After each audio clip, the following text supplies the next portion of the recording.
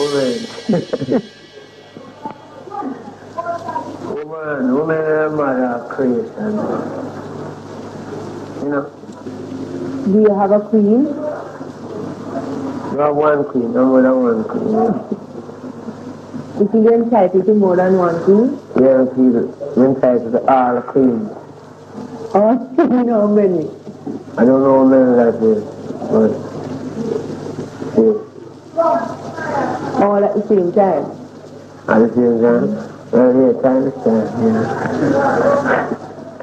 In London, I can remember we had this Exodus album, and he was doing this song that I found that he wrote about Cindy.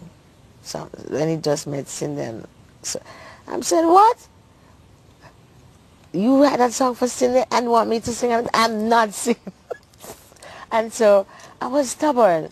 And I don't know why I did, but I was just saying that I'm going to show you something so that I can be myself. And so Master said, no, come with Oh God, Bob, I'm going to be mad if you don't. And I says, I am not going. Turn your lights down low. Yes, Turn Your Lights Down Low is my song. it, it has been said that all of those love songs on that particular album were written at the time when we were at the height of our relationship. And I know he was heavily criticized for it.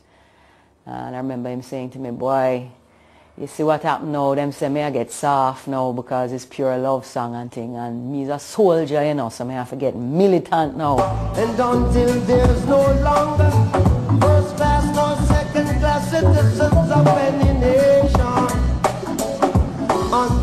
the color of a man's skin is of no more significance the color of eyes. I've got to say what. It was in 76 that Bob really became a superstar in Europe and a household name in England. Suddenly you go from small island girl to being splashed all over the front page of every newspaper that you pick up in London. And not just that, but tied in with someone like Bob, who was a very controversial character.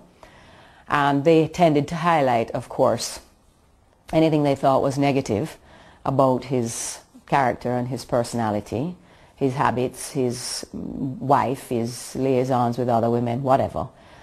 So they painted a pretty sordid picture, is what I guess I would have to call it. I didn't feel like I was a wife.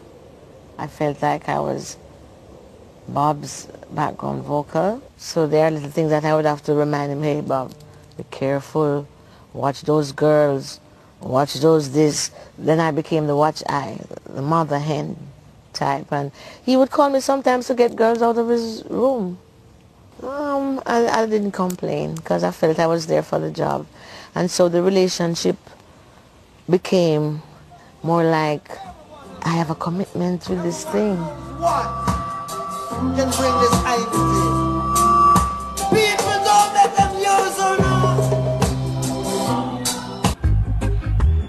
My said follow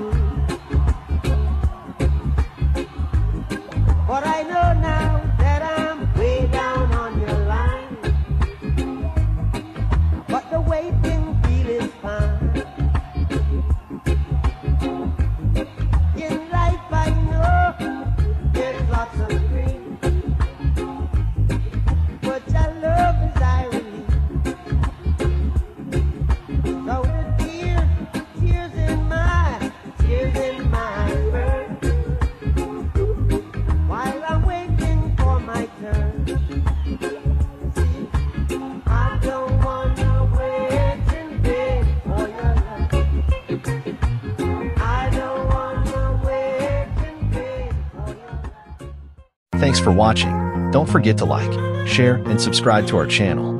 Until next time, walk good.